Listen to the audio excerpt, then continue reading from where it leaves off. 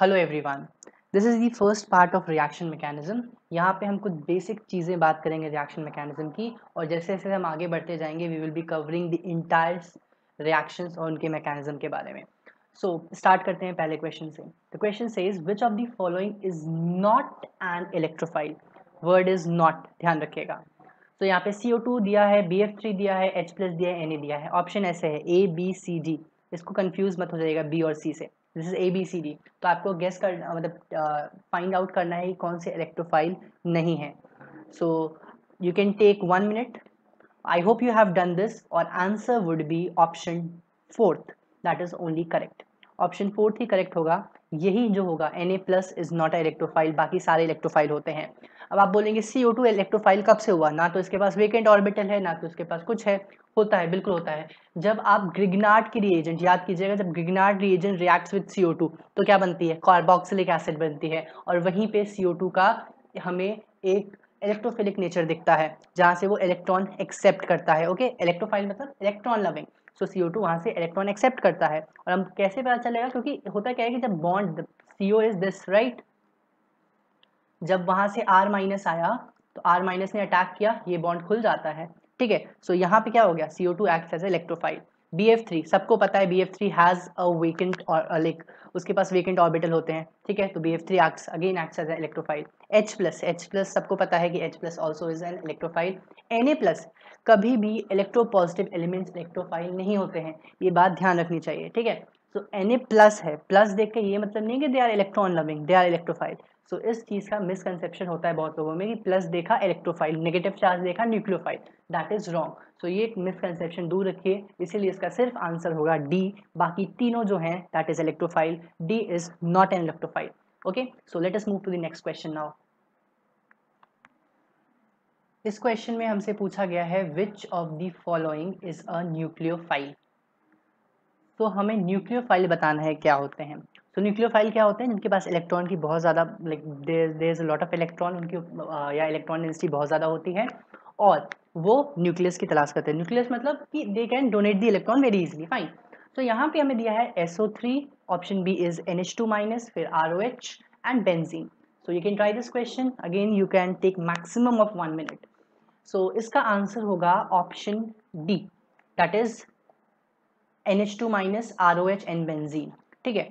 SO3 is an electrophile SO3 का हमने reaction भी पढ़ा है। जब हम SO3 का रिएक्शन बाकी जैसे क्लोरीन्स और इन सबसे पढ़ते हैं तो हम बोलते हैं कि सिमिलरली जैसे अभी हमने बताया ना CO का सी uh, का सिमिलरली SO3 में भी यही होता है। SO3 का कुछ ऐसा स्ट्रक्चर होता है। तो इसके पास जैसे कुछ आया आपके हमने बोला एक्स माइनस आया फाइन और इसके ऊपर अटैक करेगा ये ऐसे बॉन्ड खुल जाएगा।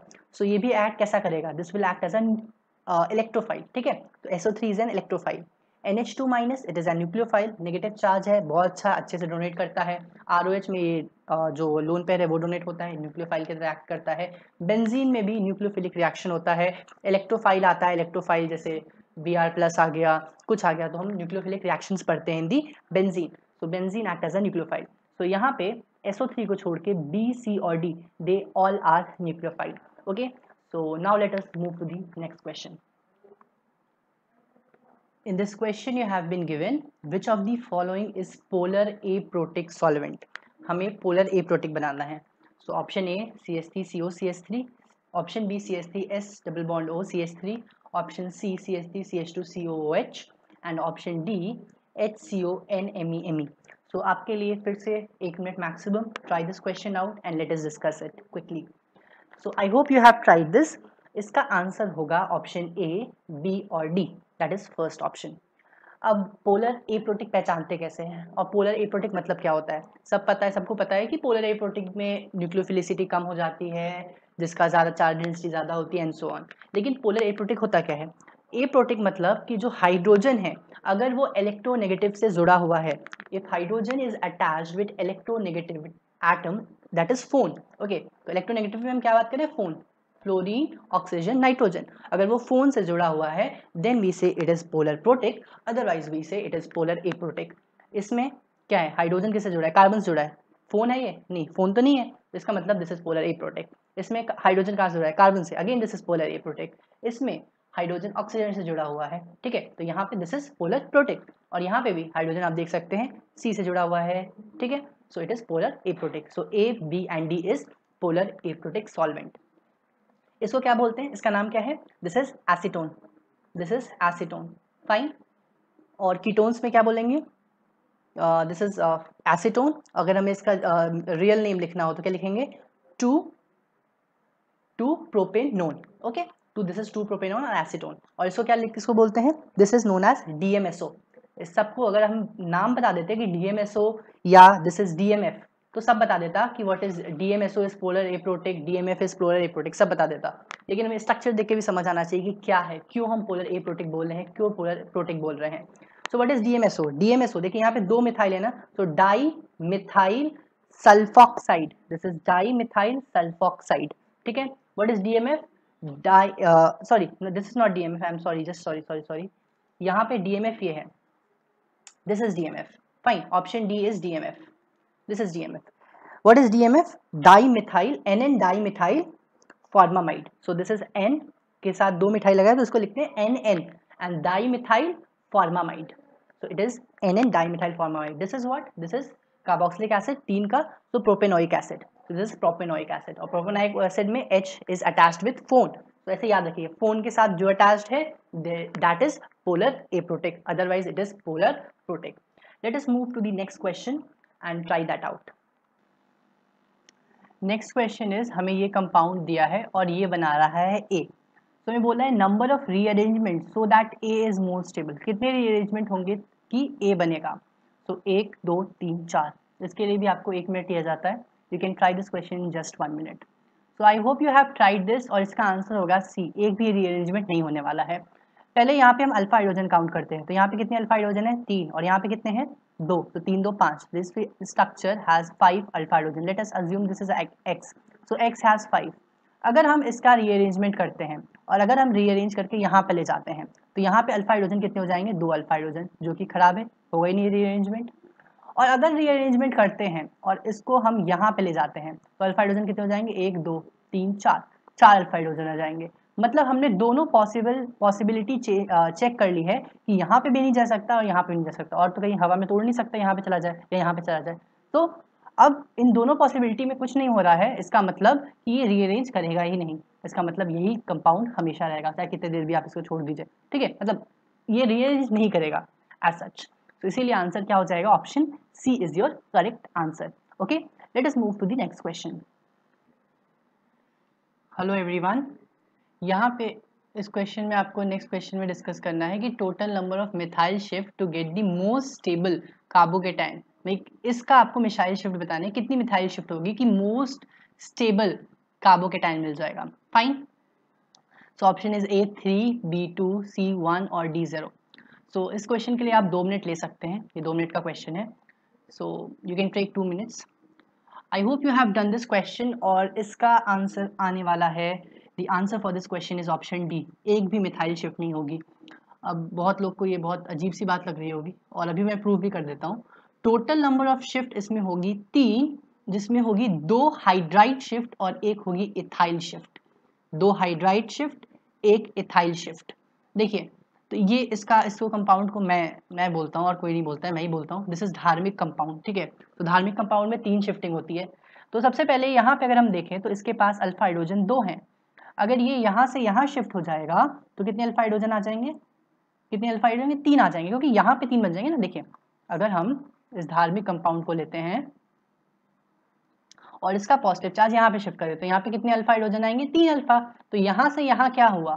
This is what this is one two hydride shift fine और यहाँ पे कितने अल्फ़ा हाइड्रोजन हो गए तीन अल्फ़ा हो गए अब यहाँ से यहाँ देखिए, अब क्या है? अगर हम इस इथाइल को यहाँ पे शिफ्ट कर दें, इस इथाइल को यहाँ पे शिफ्ट कर दें तो पॉजिटिव चार्ज यहाँ पे आएगा। तो देखिए कैसा हुआ।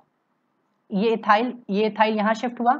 अब ये वाला हमने बना दिया, ये मिथाइल हमने बना दिया। यहाँ से एक गया है बॉन्ड यहाँ से एक गया है बॉन्ड यहाँ पे एक पॉजिटिव चार्ज आएगा क्योंकि ये इथाइल इधर चला गया है। और इस पे दो इथाइल ग्रुप लगे हैं, ठीक है? तो यहाँ पे दो इथाइल ग्रुप और यहाँ पे ये हुआ। अब इसके पास कितने अल्फ़ा हाइड्रोजन आ गए? अब इसके पास आ गए हैं पाँच अल्फ़ा हाइड्रोजन आधे लोग को चार लग रहा होगा क्योंकि एक दो तीन चार बट यहाँ पे भी तो हाइड्रोजन है। तो यहाँ पे कितने अल्फ़ा हाइड्रोजन आ गए? पाँच अल्फ़ा हाइड्रोजन आ गए। इसके बाद इसके बाद इसके बाद फिर से होगा एक hydride shift so we have again one two hydride shift और ये शिफ्टिंग होगी यहाँ से। तो जब यहाँ से शिफ्टिंग होगी तो फाइनली देखिएगा हमारा जो धार्मिक कंपाउंड है वो कैसा बन जाएगा। सो so, वो कंपाउंड कुछ ऐसा बन गया और this is a positive charge यहाँ पे तीन यहाँ पे कितने हो गए? दो और यहाँ पे एक। सो तीन, दो और एक कितने हो गए? सिक्स अल्फ़ा हाइड्रोजन ठीक है तो पहले हमने स्टार्ट किया दो अल्फ़ा हाइड्रोजन से, दो के बाद तीन तीन के बाद पाँच पाँच के बाद छः और इससे ज़्यादा कोई स्टेबल प्रोडक्ट कार्बोकेटाइन नहीं बन सकता। तो फाइनली हमारा धार्मिक कंपाउंड कुछ ऐसा बन गया और यहाँ पे हमने पूछा गया था। यहाँ पे क्या हुआ है? इथाइल शिफ्टिंग हुई है। So one two ethyl shift fine guys so यहाँ से पूछा था मिथाइल शिफ्टिंग क्या हुई? मिथाइल शिफ्टिंग तो हुई ही नहीं है। यहाँ पे दो हाइड्राइड शिफ्ट हुई है और एक हुई है ethyl shift so two hydride shift one ethyl shift तो ऐसे करके जेई वाला आपसे क्वेश्चन फंसाएगा।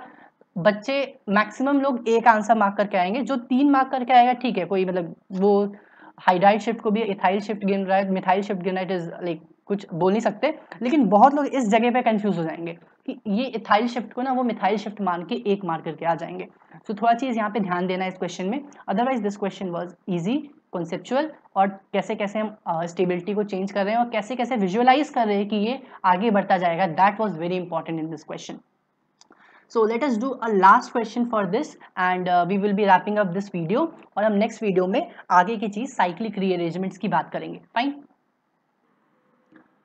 नेक्स्ट क्वेश्चन को देखते हैं। यहाँ पे हमें ये कंपाउंड दिया है। हमसे क्वेश्चन ने बोला है alpha hydrogen present in most stable structure after rearrangement is तो स्ट्रक्चर का क्या होगा? रीअरेंजमेंट कुछ शिफ्टिंग्स होगी। उसके बाद बोला है कि नंबर ऑफ़ अल्फ़ा हाइड्रोजन कितने अल्फ़ा हाइड्रोजन प्रेजेंट होंगे अगर ये हम इसको रीअरेंज कर देते हैं तो।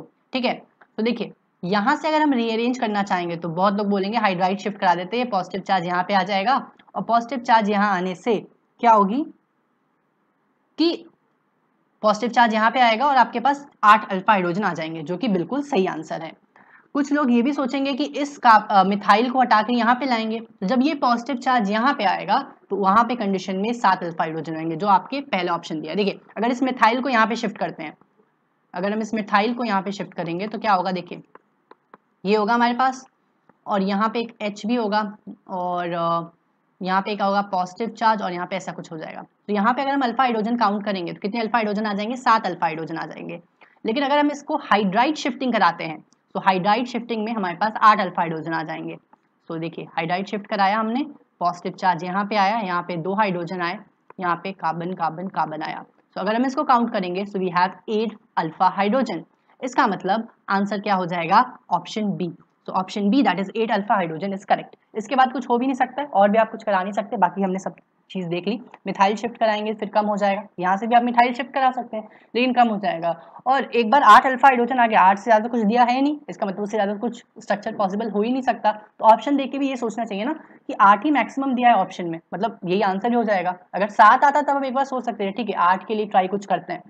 अगर आठ आंसर आया, इसका मतलब it is fine so this was the question which was based on like rearrangement and all अभी इसके बाद हम साइक्लिक रीअरेंजमेंट नेक्स्ट वीडियो से स्टार्ट करेंगे. That will be the part two of reaction mechanism and we will be moving further with the mechanism type dehydration of alcohol and so on okay? So, i hope you enjoyed this video. Share, like, comments, and that's all. Fine, guys. Bye, and best of luck for your j.